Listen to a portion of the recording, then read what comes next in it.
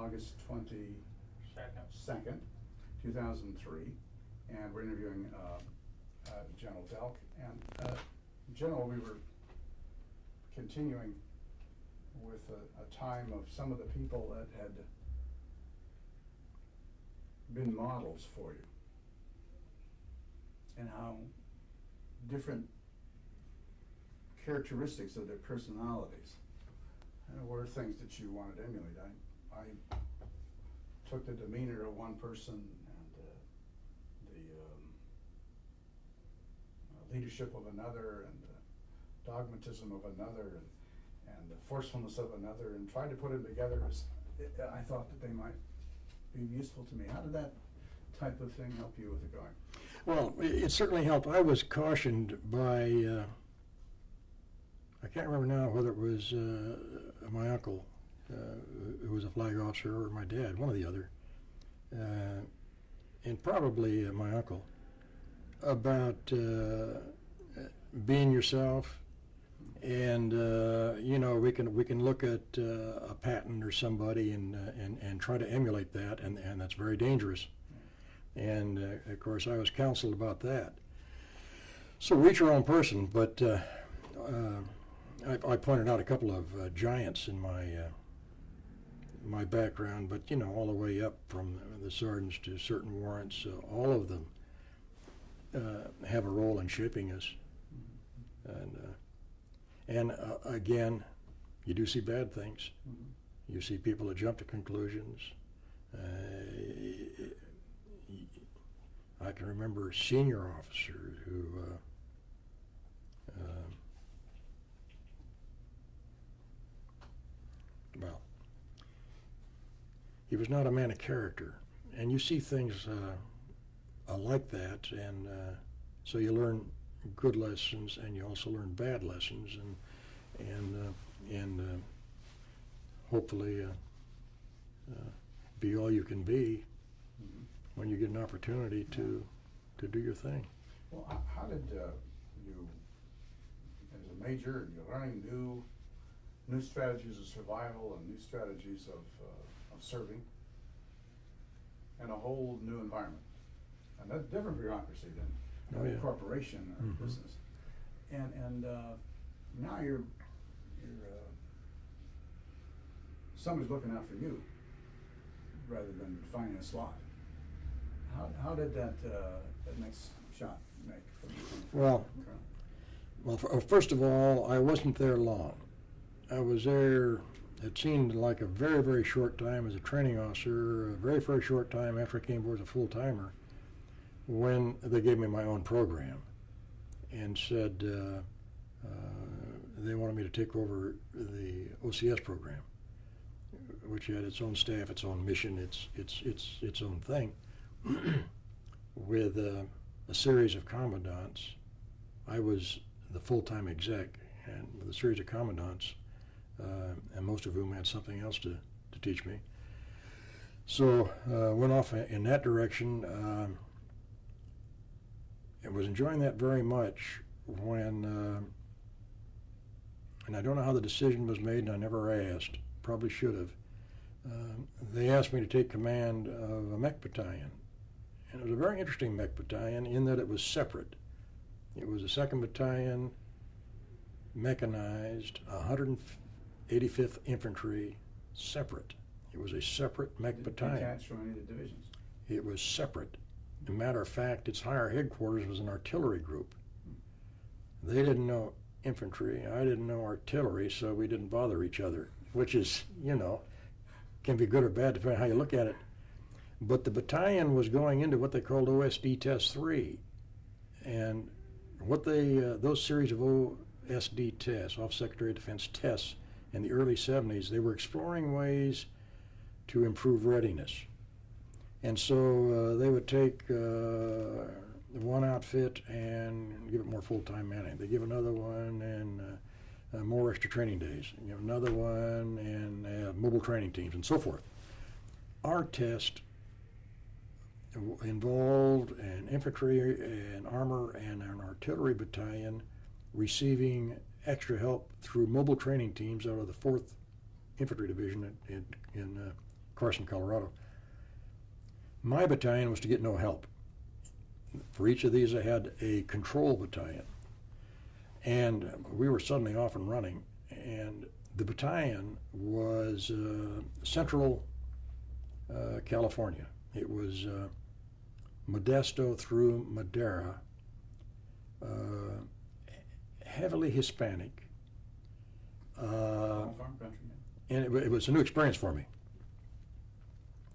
And, uh, and and and we started off running. I mean, I no sooner reported, took over, when uh, they sent us down to Fort Irwin and put us through very arduous tests for a full two weeks to see, you know, what we could do and what we couldn't. You didn't even know the unit yet. No. Although under those circumstances, you, you learn them quickly. But uh, and so a benchmark, just how good we were or how bad we were. We were not very good.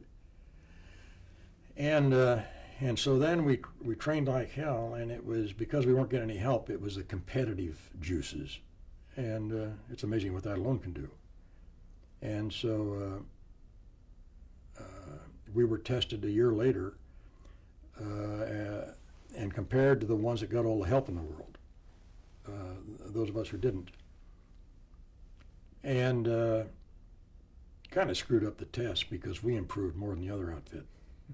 Uh, we were worse to start with, in fairness, but anyhow, uh, uh, the soldiers were incredible, and um, we did well. Um, Chief of the bureau happened to come down towards the end and uh, I was asked to give him a briefing. I hadn't been around long enough to know that I was supposed to be nervous, and so I gave him one of my better briefings. Well, anyhow, as a consequence of that, they quickly asked me to go to, to bureau and asked me to uh, put together the unit readiness reporting system, a, a computerized system for the National Guard. And uh, we started from scratch, and it was a, it was great fun.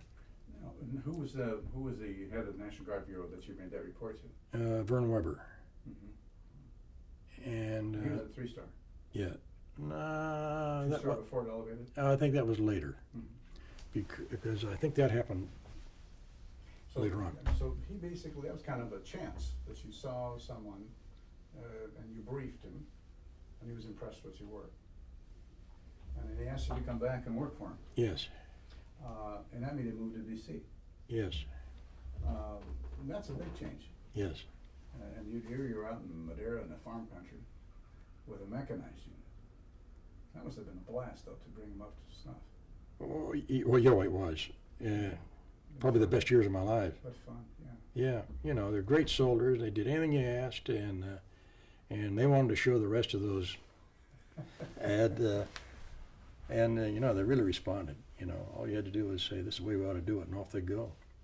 What do you- And it was tough. It was tough. I mean, the red heat warning lights in all those vehicles were on all the time. Hotter than hell. We only had one heat casualty uh, because they stayed away from alcohol, drank their water, did all the good things. Great soldiers. You know, Fort Irwin's a tough place. Oh, it is. Yeah, I was out there for just a review, so I had a very distant feeling for what it would be like to sit in one of those damn tanks. Yep. um, when you went to uh, NGB now, this is uh, when would this have been? You were you were still um, Se- 72, 73. mhm. and, and uh, you were still in the mechanized unit, detached unit, Yeah. and you were asked to go back to NGB Yes. in Washington. Yes. Um,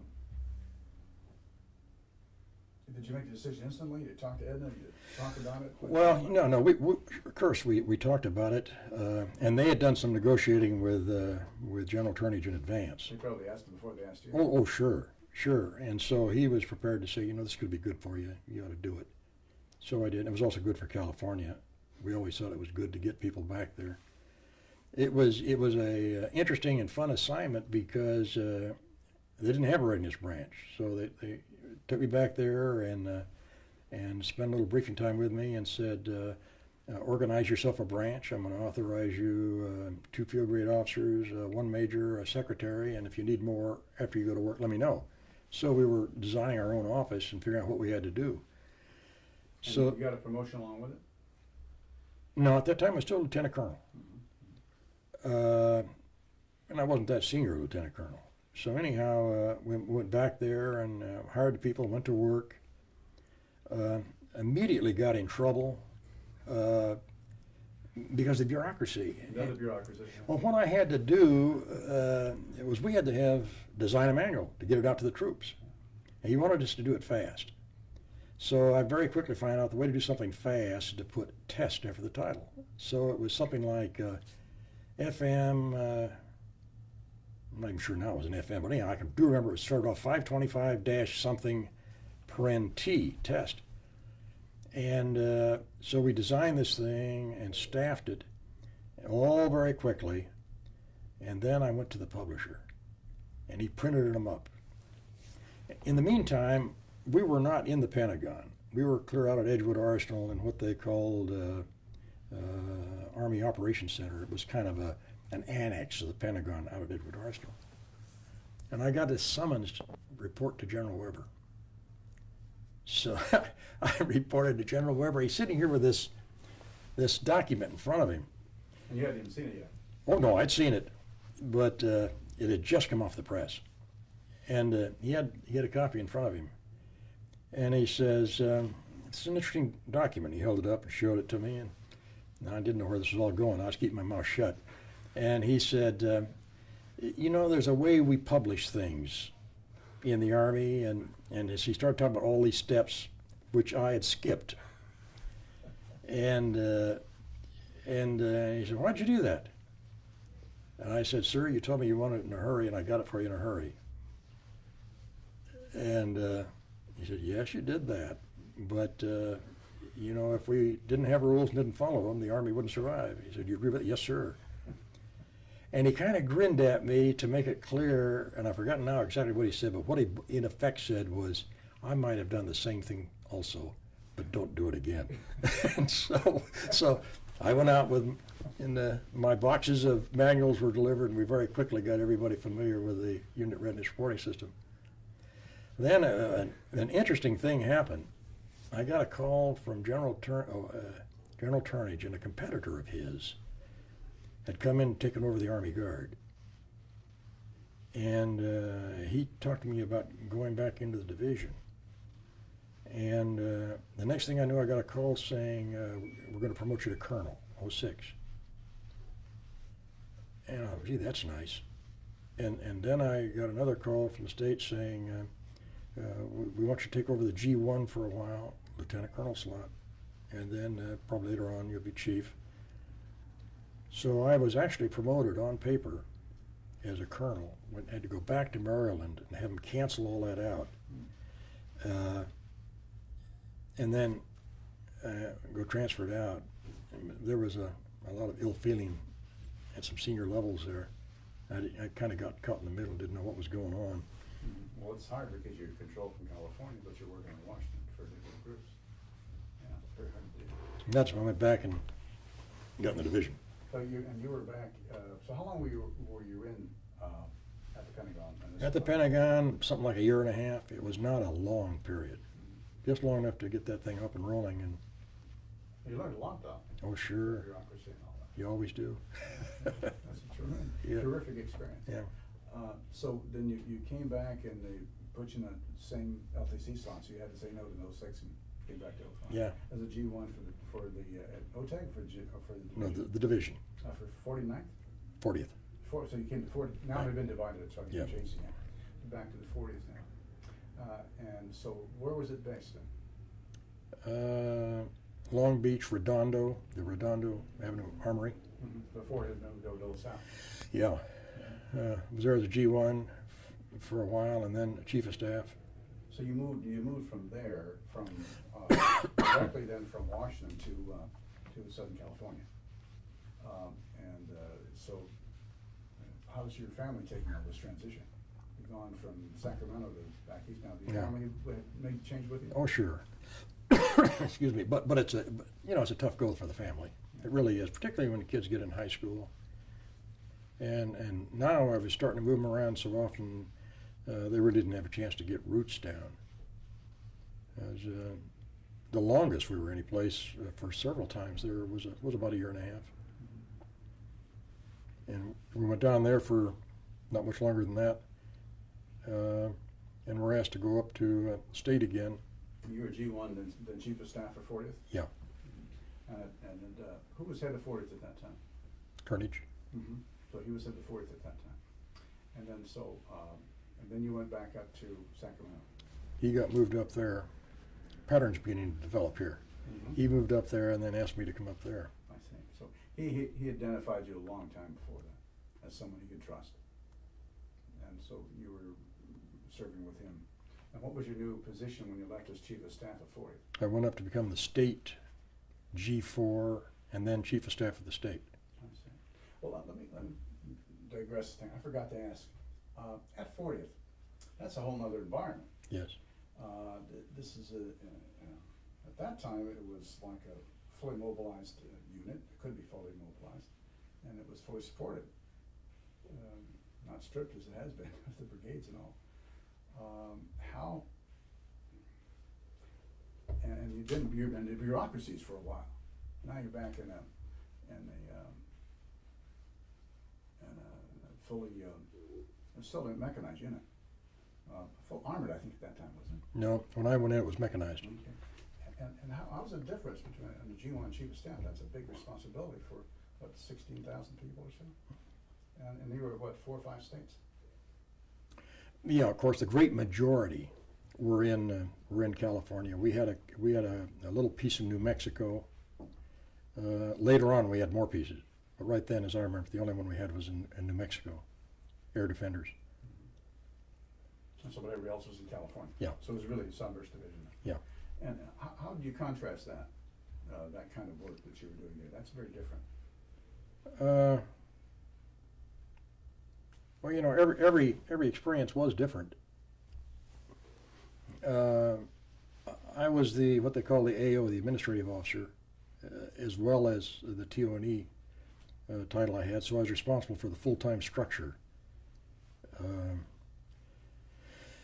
frankly, I found myself uh, being the uh, the uh, bad actor for a while. People had to be fired. Uh, we had to do some disciplining. To get people up to snuff. Yeah, we probably had to quickly fire uh, four or five people. I'm talking senior people, Mhm.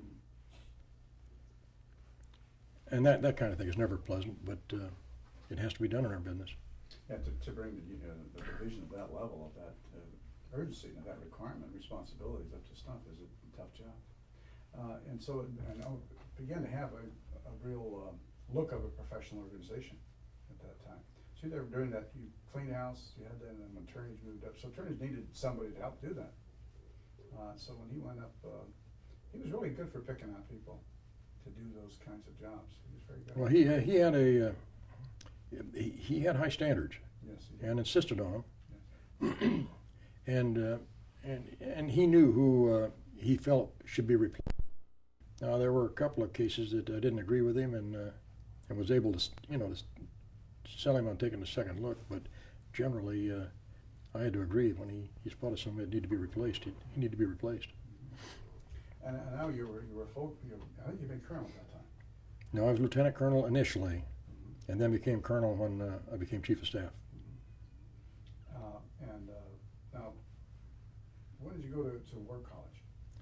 That was in 1979 uh, when I was chief of staff in the state.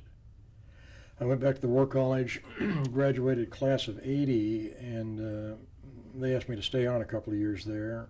I taught uh, professional ethics, and most of my time I was involved as what they call a study manager for the Strategic Studies Institute there at, at the War College, which was fascinating work. Yeah, I worked with Sullivan over the Institute of Land Warfare, and that's really, fascinating. And it's a kind of an adjunct of the Institute Studies. How, how would, uh, because that is really a, um, a think tank, military think tank. How, Yes. how did that, now you're going to a whole different area. You're Oh, you're yeah. applying all these things. How, how would you, a lot of research involved. Uh, How would you? Well, well, yeah. Um, first of all, it was my my uh, the War College my first exposure to a lot of classified stuff. And then the studies we were doing were classified. The first one that they had me do was, I've forgotten the precise title, but in effect it was what should our relationship be with the uh, People's Republic of China Army?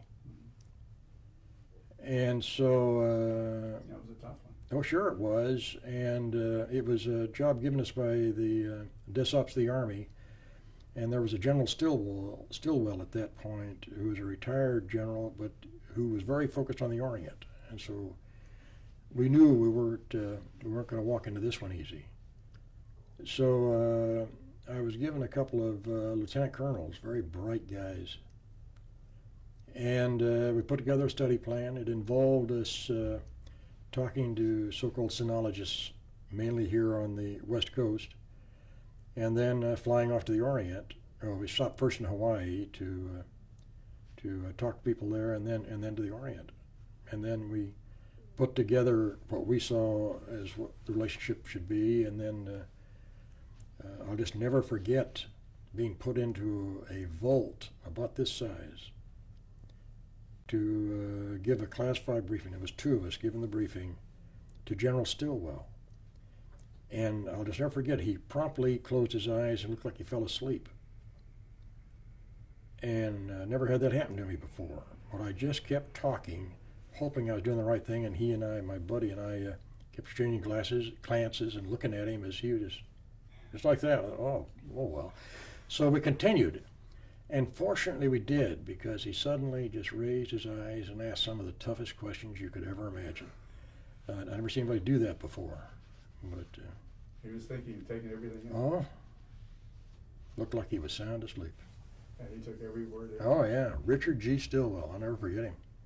And, and so that, um, uh, because we began to change in the mid, and late seventies, our stance towards China I was very much involved with Formosa and the Navy issues, and the Philippines, and Kuanamotu and those kinds. So I was very close to those things, and all the radio blockings and, and, um, all of the uh, jurisdictional areas that the Chinese, uh, uh, considered theirs. and, and what was international considerations, and there was a, you know, there's a lot of picky, picky stuff there. Uh, and, and- it's, it's become a new thrust again. Uh, I think it will become even more so in the future. Um, Again, again, again.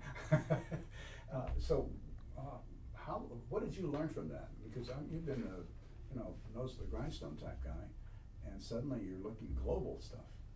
Uh, how, did, how would you contrast that? I mean, here's a, here's a guy who's. Well, it was a whole different world. Yeah. And uh, I suddenly found myself spending my time with, with the Army's intellectuals. And some of them would do no good with soldiers, I'll just tell you that. But were just bright as hell if, uh, you know, somebody with a practical touch uh, kept their hand on them. Uh, so that in itself was an education. Um,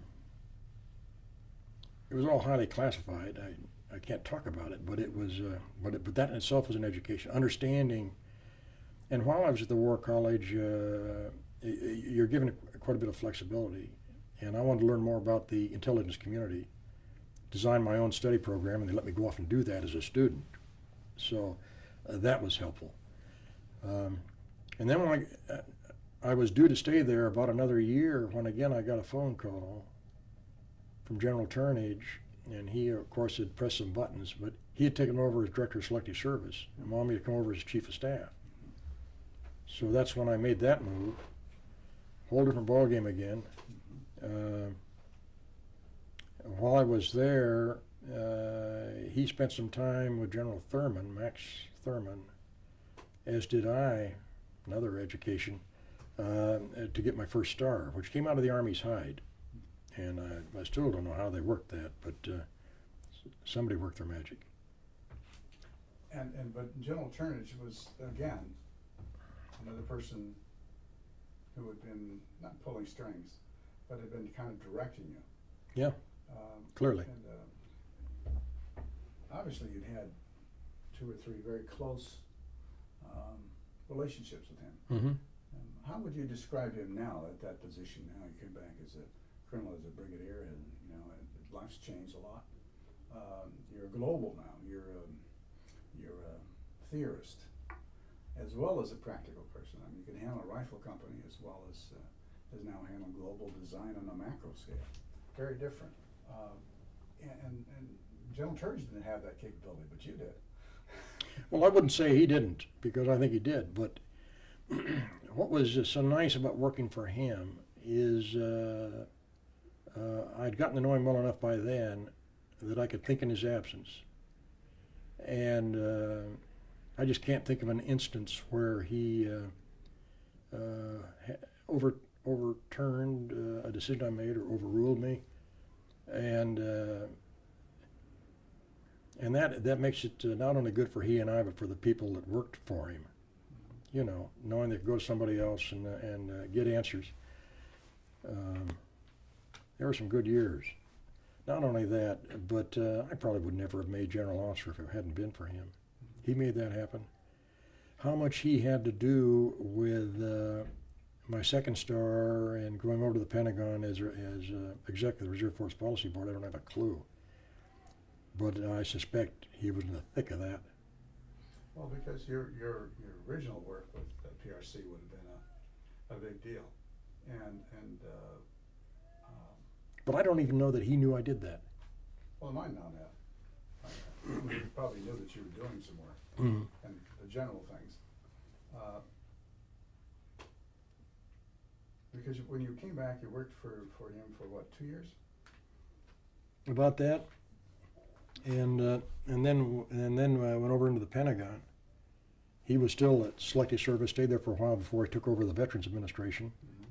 and uh, and the Pentagon, boy, that that was probably the biggest eye opener of of uh, of all because uh, You've been a, a periphery of that with the War College. yeah, but but uh, when I was in the Reserve Forces Policy Board, I suddenly found myself working with uh, senior flag officers of all the components. I was working with uh, uh, most often the Assistant Secretary of the Army, Assistant Secretary of the Air Force, and so forth. Uh, working with the DCSOPS of the Army.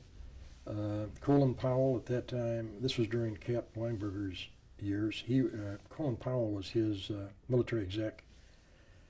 So I got to know him to some degree. But boy, just suddenly my eyes were open, not only to the to all of that, but uh, almost the first thing that happened when I reported in, excuse me, the chairman of the board was a retired Marine Major General and uh, a very high executive in uh, in uh, probably the largest transportation company in the world, a guy by the name of Lou Conti. And he said to me, he said, uh, you know, we need to look at the reserve component systems around the world, put together a program to take us around to look at them. And so I did that. You know, arranged for a C-141. We went off and looked at the better reserve components. Israelis, of course, having the best. Uh, and what an education that was. So not only uh, listening to all these bright people that uh, I was forced to work with on the board, but uh, then this exposure around the world was uh, educated this country boy. You know, it really, it really was. Well, I have a friend who's chair of that committee now, and uh, uh, I didn't know anything about it. Yeah. And, uh, and I had known the friend for years and years. I know Al for, since he was 15, 16 or so. And a young kid, you know, I just known him. And I'd seen his career and Nam and back, and, and when politically we'd both been involved different times in administrations at different times. And uh, and I heard all the rumors of things, I didn't know anything. And I met him at the NGAUS convention. And he gives me his card. And I said, Hi, Al, how are you doing? Busy, you know, I'm his chair. I didn't know that committee from anything. Oh, it's an important committee. Yeah, it could have been the zoo committee for Yeah, gosh, I yeah. Uh, but then he asked his uh, staffer, uh, give him one of my, my cards, I'm out, you know, a little later, and it's Lieutenant General. I thought, "Oh, that's a staffer? And I thought, now that changed everything. Yeah, yeah, You know? yeah. And uh, so then I immediately went online and tried to find out about it, and uh, and did, and uh, and found the significance of what you're talking about. I had no idea, and I wouldn't know now if I hadn't done that homework. Uh, So, that, that Reserve Forces Policy Board is probably one of the most significant boards. Uh, It's been around a long time, and I really had known nothing about it. Um, It wasn't anywhere in my bailiwick, so I wouldn't have known it.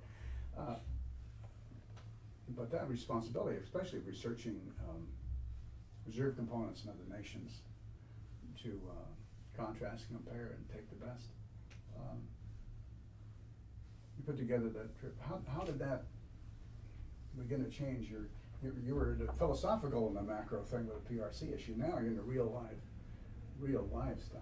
How, how did that really begin to contrast for you? Um, Well, it was, it was, you, well, it greatly broadened my outlook.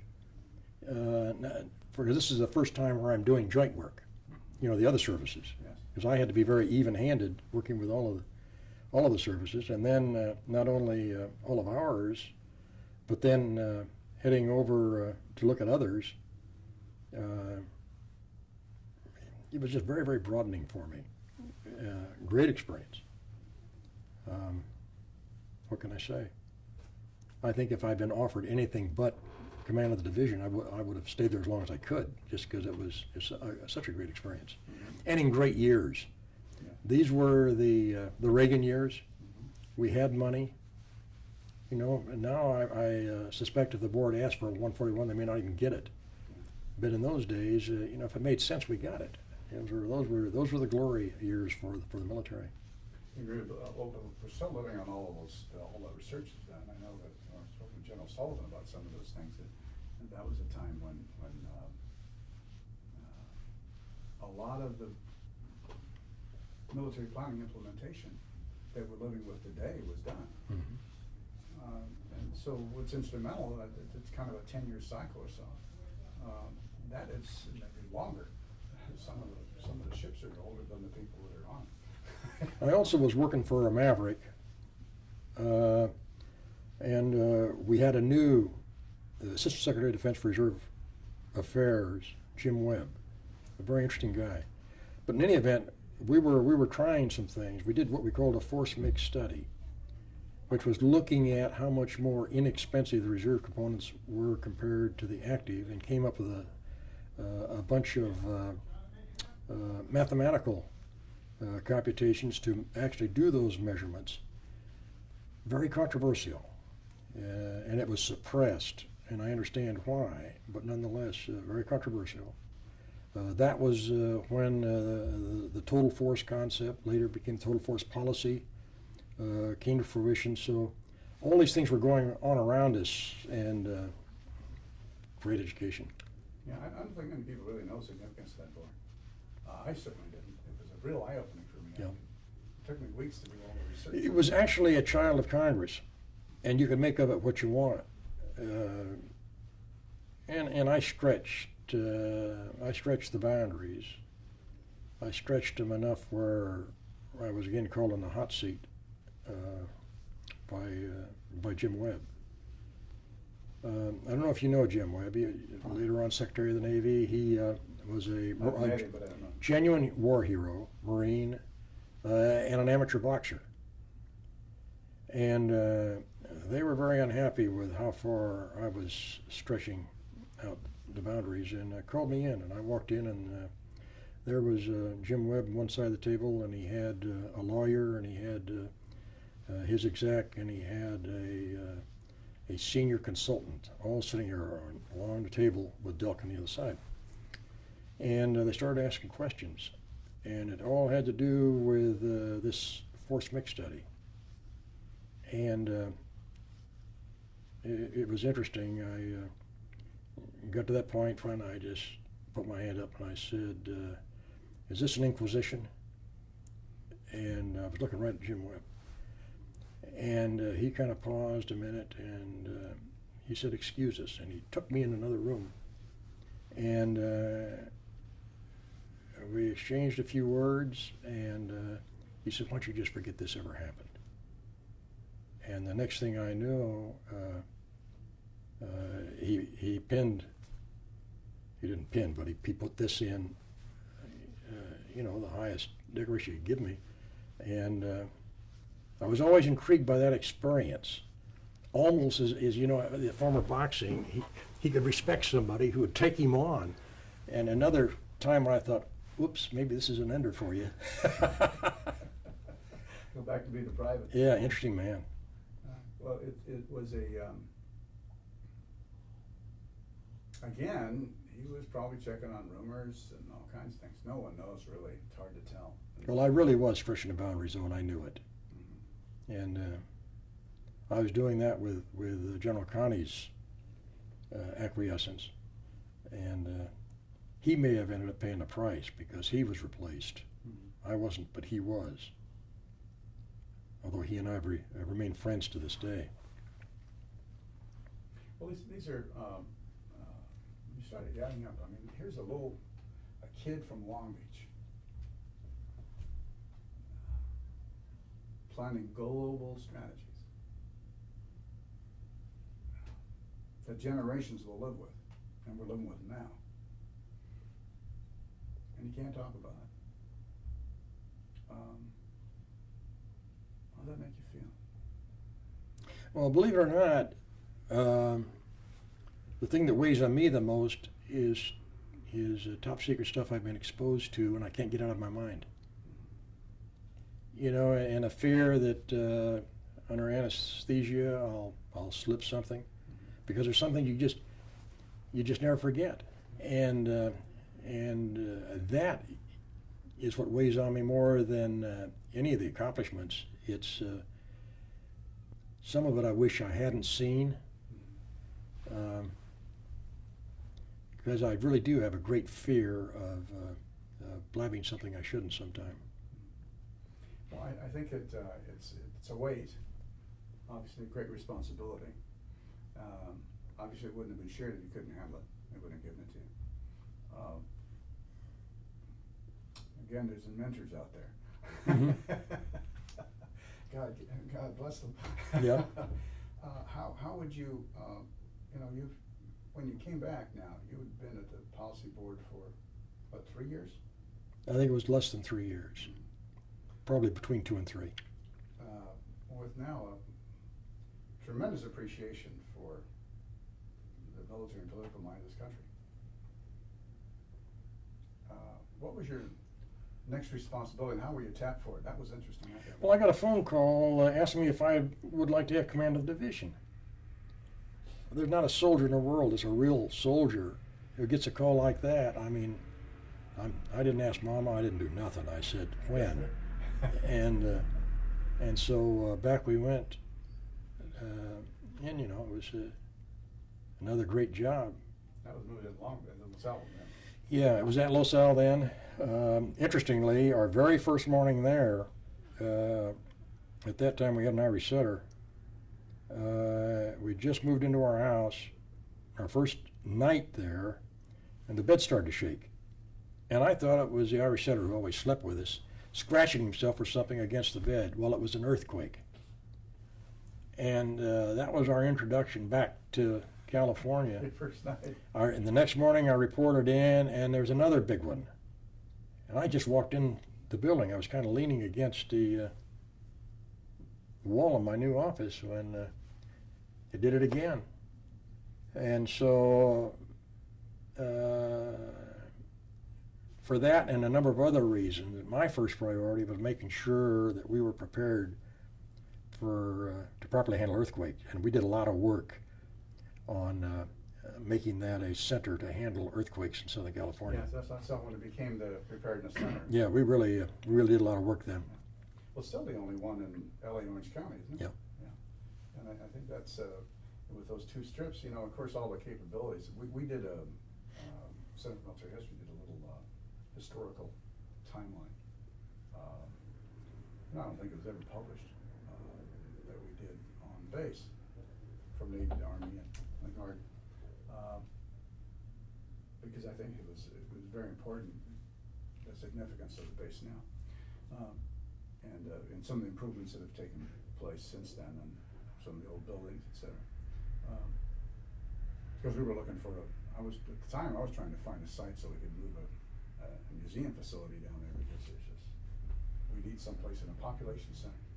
And, uh, and, uh, but that's another issue.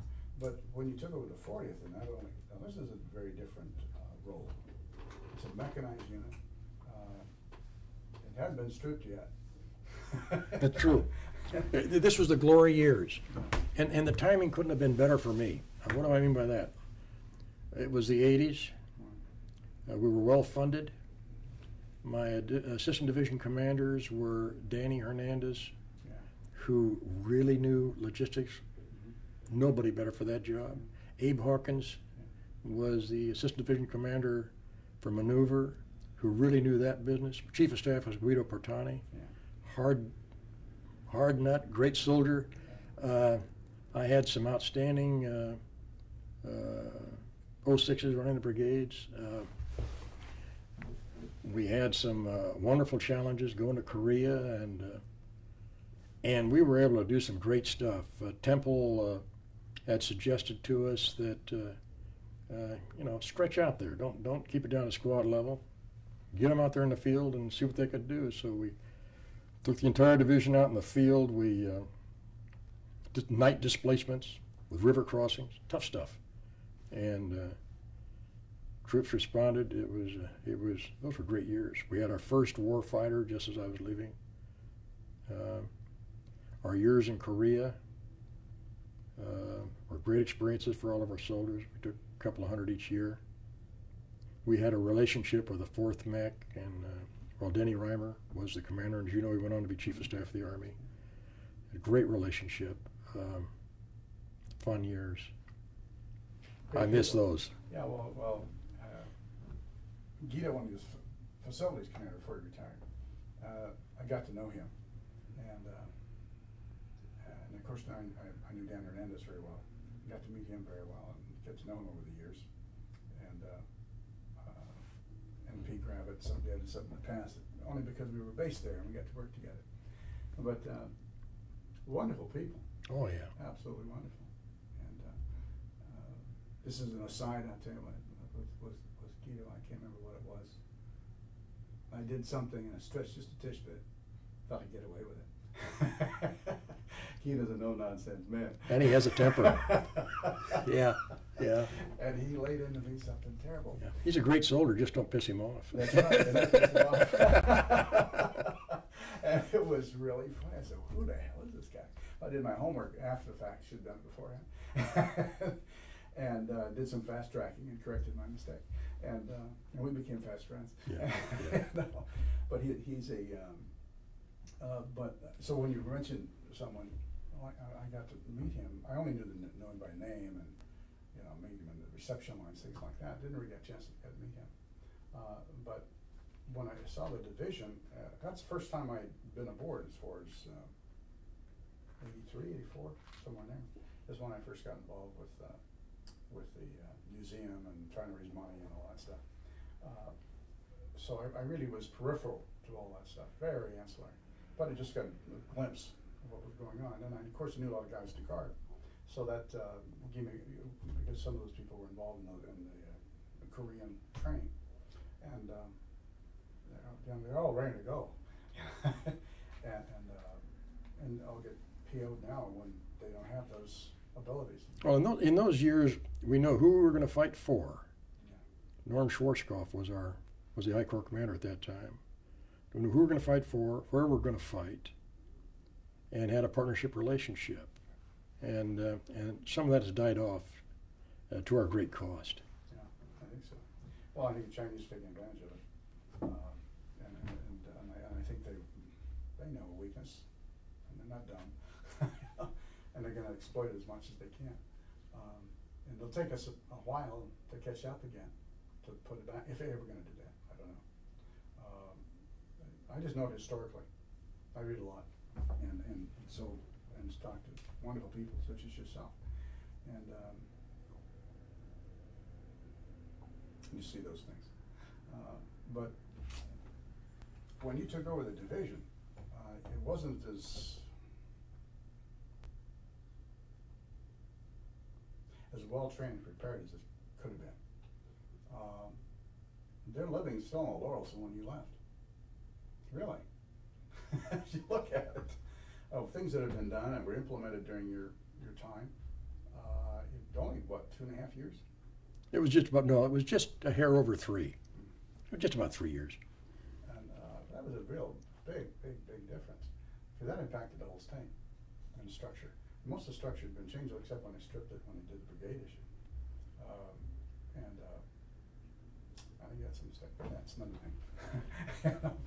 uh, when we when we uh, talk about when when you went from from division, you had some other monumental changes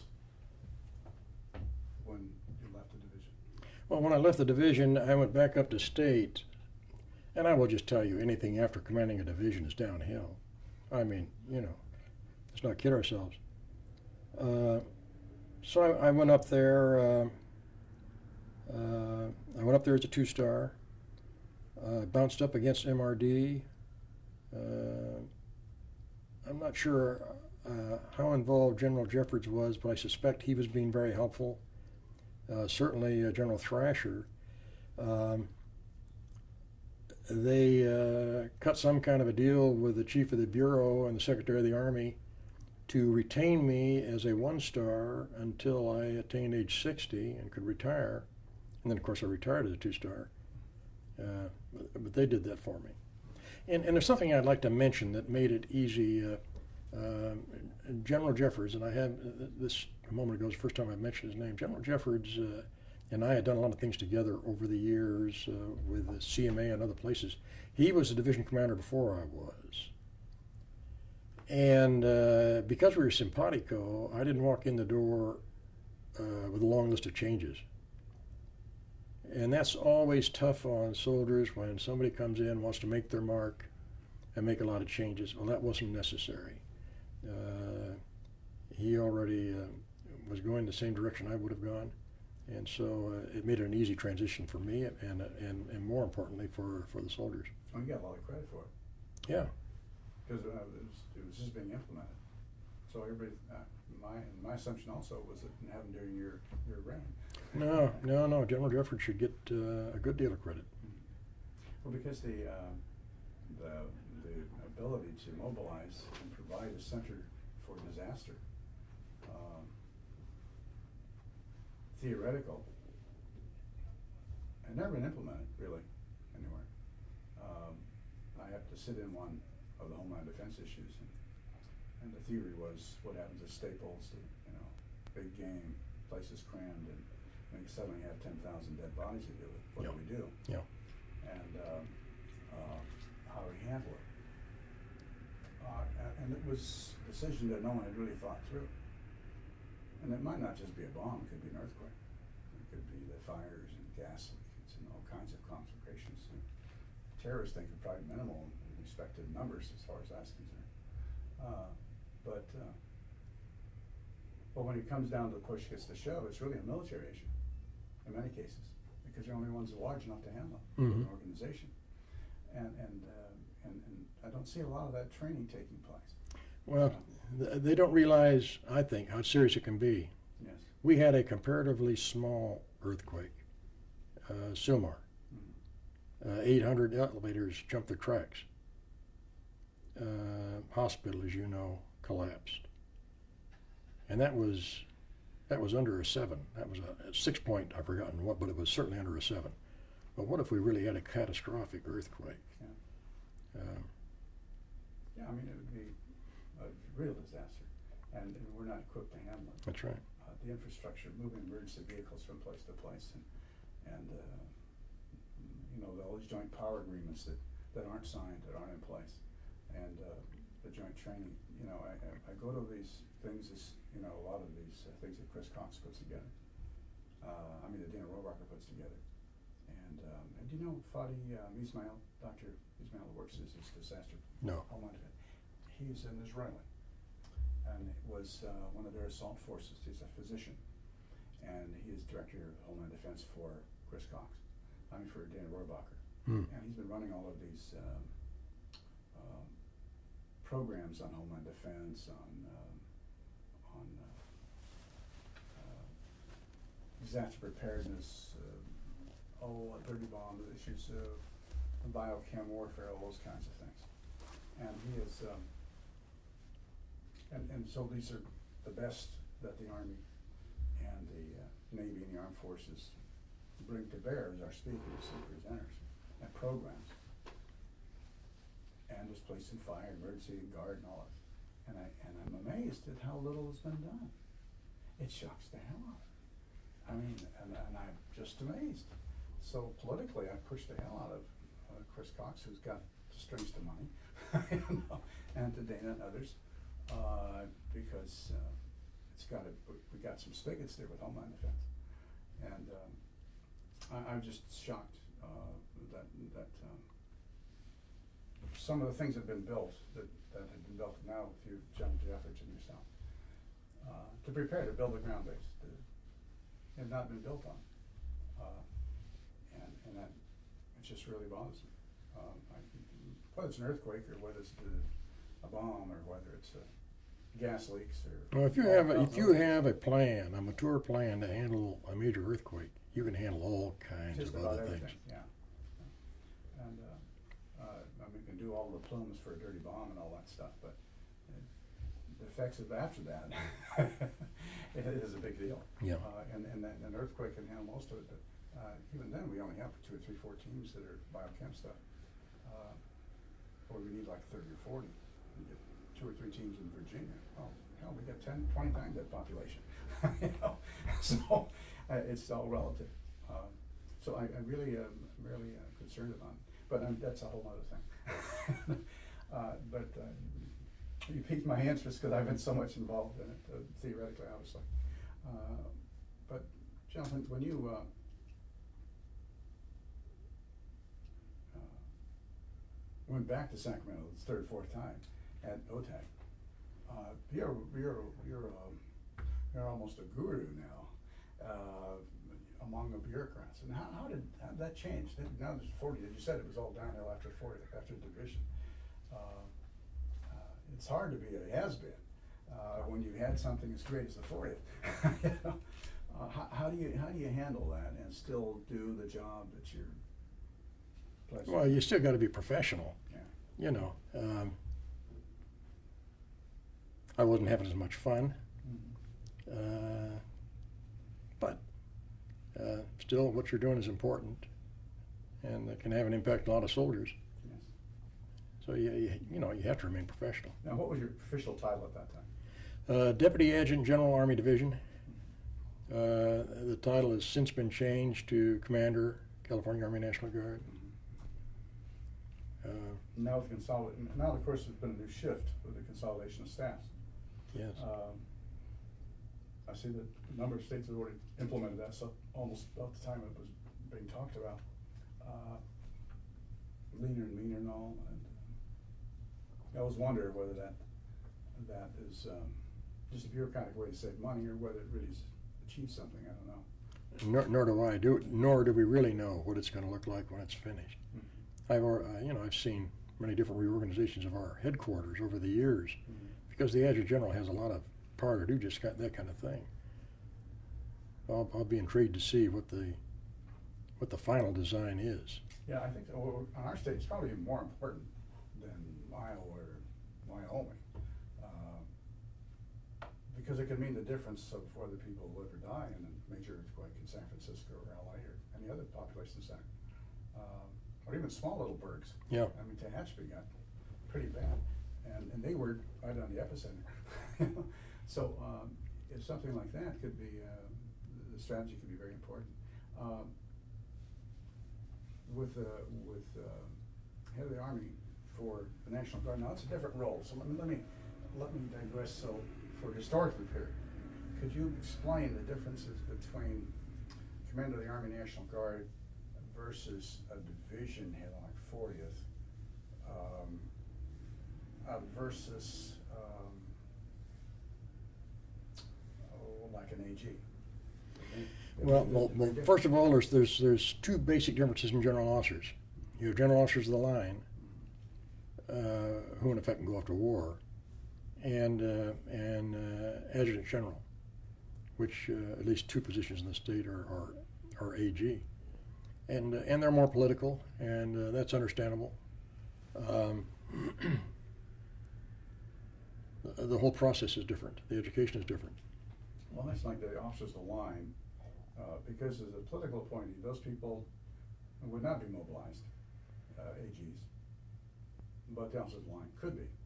Um, Could you kind of contrast that? I mean, we, we, you inferred that, but I'd like to, Well, well, you know, the, the adjutant general has to be responsive to the governor, yes. and uh, he he works for the governor.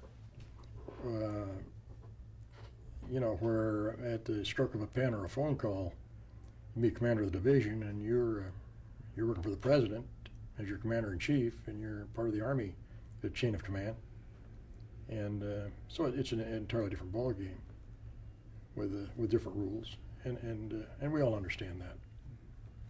Uh, Most people don't, though, that's why I wanted Yeah. to have you kind of compare and contrast that. Um, Well, particularly like, I think in, during the Korean War, when the 40th was called up as a unit. uh,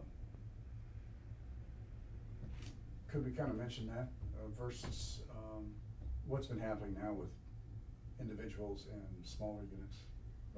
Yeah, well, there really, there is not that much difference in what really happened. It's just, uh, it- it's, uh, it's a matter of scale, the size of the unit. Uh, the adjutant general, uh, of course, he's already full time, and uh, he has a responsibility to provide trained, ready units. So, so he does that, provides what uh, support he can in the meantime. Uh, obviously, he has a responsibility to families left behind. He has a responsibility to reconstitute when they come back off active, active duty. So uh, he's got a big role in all this too. No, I, I just looked at my watch there, and I promised to get you out of here by 5 to 12. It's 7 to 12. Oh my. uh, which means I have to close this down. Okay, okay. Um, So, we've got to continue this, right? Uh, But if I may, let me thank you on behalf of the California State Military Museum and the uh, Military History Educational Project for allowing you to be for one of our first um, efforts to record the history of our, uh, uh, of general officers in the California National Guard. And it's a great privilege, and I thought I knew you. And I really am honored to have had a chance to share this information. Well, I got to tell you, you pulled things out of me I haven't thought about in many years. Some things I haven't thought about at all. Well, well, I'm glad to have helped. I, I think it's, it's a wonderful opportunity, and, uh, uh, I'd like to explore some of the things in a special one, just on strategy and planning, micro, macro. I think it would be a terrific discussion, maybe bring a couple of.